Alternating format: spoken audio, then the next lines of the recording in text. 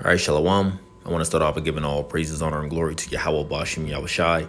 Double honors to the apostles nailed as a great millstone. Peace and salutations to the hopeful elect. And I want to do a quick lesson on, and this is mainly more towards you younger brothers that's in the faith, you brothers that still go to school, you brothers that's in the workforce, um, and also you brothers that even still live at home with the parents or grandparents or a relative, okay? Whatever the case may be. But um, you know, this is uh from my nephew, all right. And um, he mentioned how it was basically hard for him to stay in the spirit, you know, dealing with um his uh his I'll say his surroundings, all right, and it, and his is school. So he says, uh, you know, more of an this is the middle of the conversation. It says, yeah, I know, man but it's like the school I go to, it's so hard to stay in the spirit when they all talk about is weed and fighting and gang banging. Like it's vexing, vexing as hell, bro. And I uh, messaged back, I said, well, this is the world we live in, okay? Meaning this world is what? Full of unrighteousness, okay? Full of perversity, perversity, full of wickedness. And we see the people are moving in the way of what? The things that I just mentioned, okay? They are going in the opposite direction as we are going and as we're as we are fighting for righteousness okay? As we are moving in the spirit the world is moving in the way of what? Carnality okay? In the way of wickedness. That's why the scriptures say um let's get it. I'll pull it up on my other phone. It's the book of uh exodus the book of Exodus, chapter 23, verse 2, it says, Thou shalt not follow a multitude to do evil, neither shalt thou speak in a cause to decline after many to wrestle judgment. So, point is in the first, it says, Thou shalt not follow a multitude to do evil. Okay, so majority of this world, see, they are going to the broadest way that leadeth into destruction. And as we continue on this our path, right? The path of righteousness, this path of faith, you know, um, being in the spirit, being kingdom minded, okay? Uh, bearing a cross, especially if you come into this and uh, you're doing a, you're uh, doing this work, okay? If you consider yourself a prophet, right? You are, we are fall, even believers as well. We are following what the straight gate. We see the rest of the world is following the broader way, which leads to destruction. Okay, and even though they are going on this path. We are not to follow this path. We are not to veer off of our path. All right. So I mentioned, I said, well, this is the world we live in, right? Which is the truth.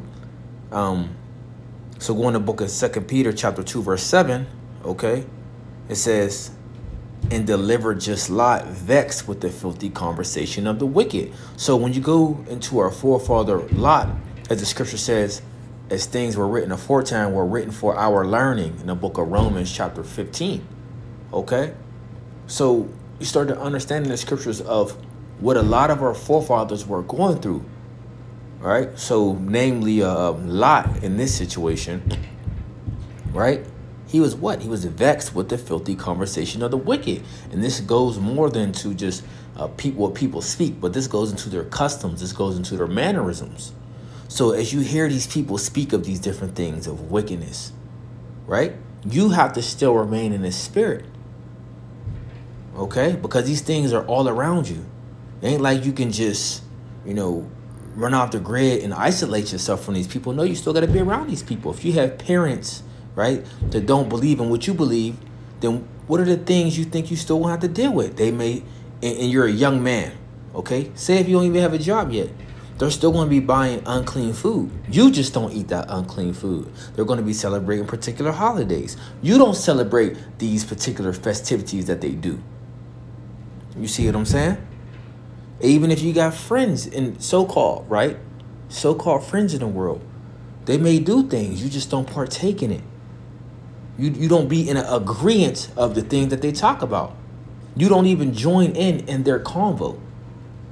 You shouldn't. If you're in the spirit, you, you believe you're a man of the Lord, you're a believer, well, you wouldn't even be in agreement with these people, you know? And guess what? Surely it would or it should vex you. Okay, that they talk about these different things um, of wickedness, right? So it says uh, back in Second Peter chapter 2, verse 7, it says, And deliver just Lot, vexed with the filthy conversation of the wicked. So Lot was vexed with the filthy conversation of wicked. He was vexed with the things that he was seeing, just as we are vexed with the things that we are seeing and hearing. Right? Verse 8 says, For that righteous man dwelling among them and seeing and hearing vex his righteous soul from day to day with their unlawful deeds. So, yes, it's going to be uh, vexing, right? You're going to deal with a lot of things around you that's going to be vexing because, look, the, uh, the way of this world, they don't have the spirit of truth, okay? A lot of these people have the spirit of carnality. They have the spirit of Satan on them, you know? But I wanted to get um before I get that point, because the scriptures talk about the spirit of the truth, whom the world cannot receive. Right? So you know, a lot of these things came more idol, you know? Let's go to uh uh so yeah, let's go to first the book of First Peter chapter 4, verse 4 says wherein they think it strange that you run not with them to the same excess of riot, speaking evil of you. Right? So, although, because since you're not joining in their wicked conversations, since you're not partaking in their festivities, they think it's strange. Oh, he think he better than us. Why he don't eat the things we eat? Why why don't he celebrate the things we celebrate? Right? What's his problem? He's strange. He weird. He different right? Because ultimately, these people with these these uh, uh, wicked spirits, they want you to be joined in with them to be a, a wicked spirit as well. All right, I want to get this. I mentioned it, the spirit of truth.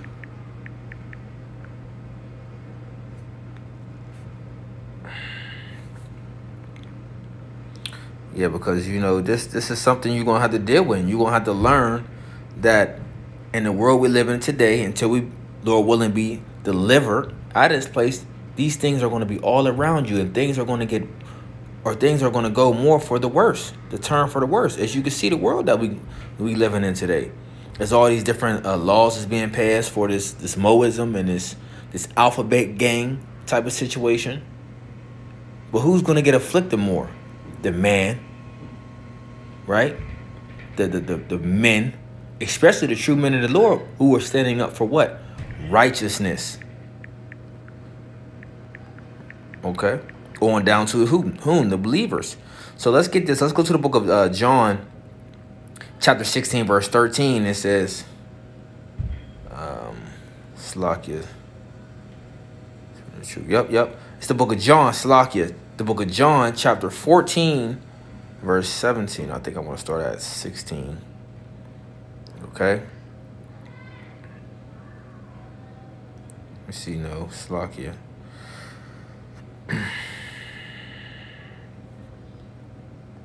Fourteen verse. Boom. Yep. So it's the book of John, chapter 14, verse 15. It says, If you love me, keep my commandments. And how you how will you show forth your love? Well, you're gonna do it through what? Action. By what? Keeping the commandments to the best of your ability, of course. And I will pray the Father, he shall give you another comforter, and that he may abide with you forever. Even the Spirit of truth, whom the world cannot receive. Because it seeth him not, neither know of him, but ye have but ye know him, for he dwelleth with you and shall be in you.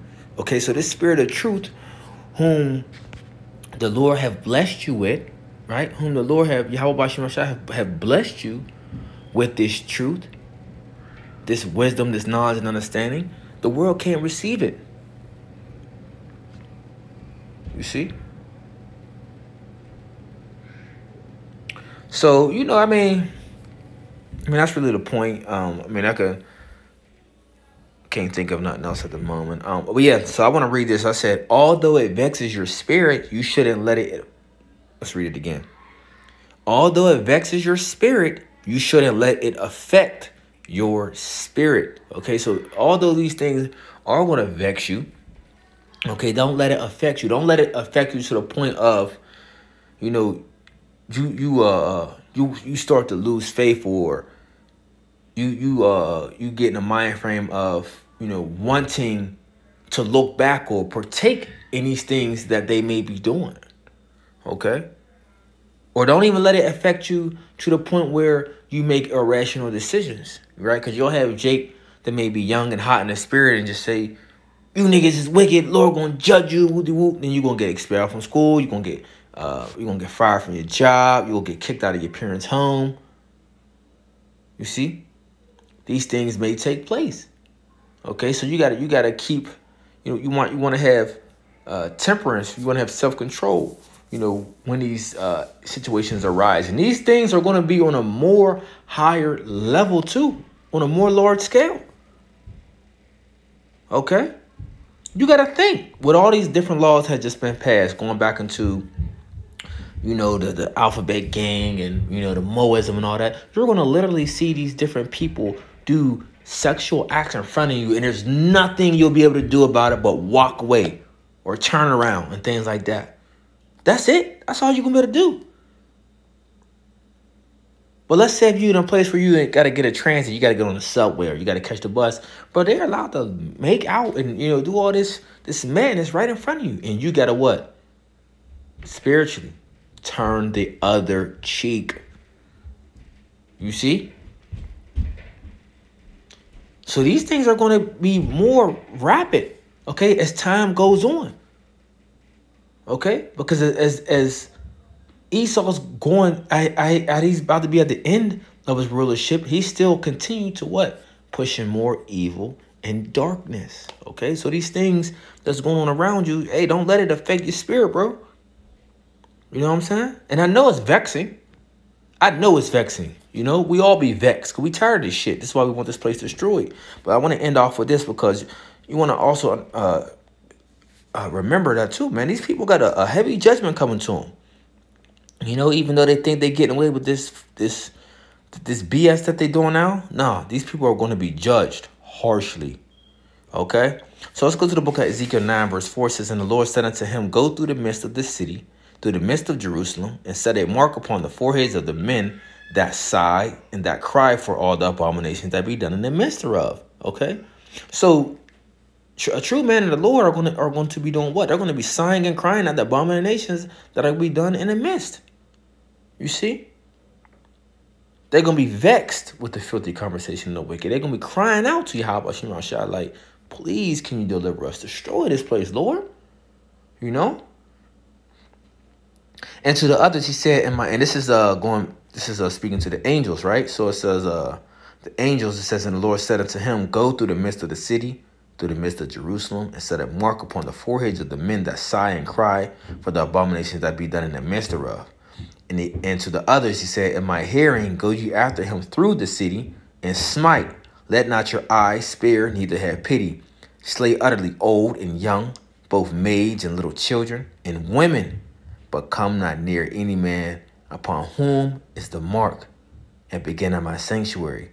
Then they begin at the ancient men which were before the house. So this mark goes uh, in Ezekiel the ninth chapter in the sixth verse. It's the wall, meaning exemption um, from judgment. Okay, and that's what we hope to get.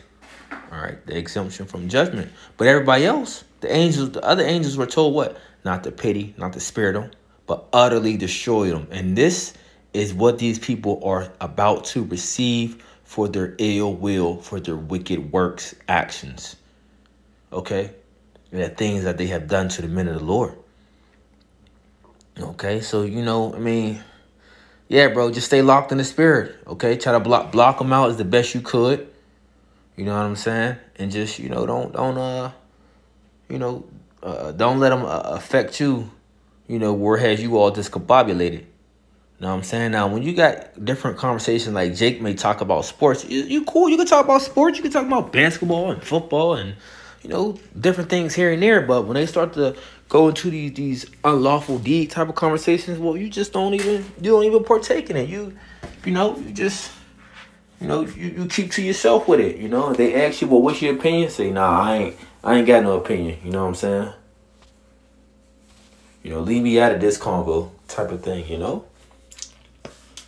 So I mean, at the end of the day, Lord willing, I hope this quick lesson was edifying. Until next time, I want to say shalom.